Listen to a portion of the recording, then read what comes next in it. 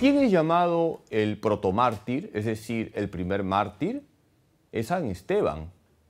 Si leemos Hechos 6.5, ahí se nos dice que Esteban era un hombre lleno de fe y de Espíritu Santo. Él fue uno de los primeros diáconos que hubo en la iglesia.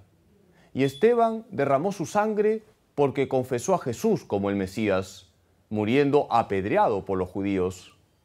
Pidámosle a San Esteban que nos ayude para que seamos mártires, para que seamos capaces de dar la vida todos los días por Cristo Jesús, el Mesías.